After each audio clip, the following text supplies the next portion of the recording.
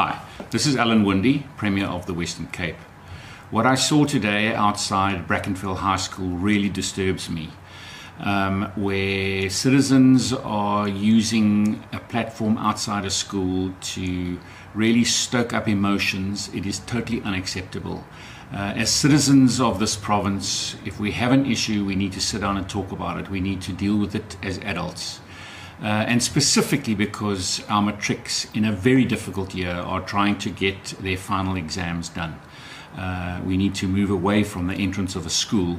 Uh, we need to get around the table to sort these things out. We must make sure that we give the youth uh, of our province their opportunity in a difficult year to finish their exams. Please don't resort to violence. Uh, I really call on citizens to be calm and to deal with these issues in a responsible manner.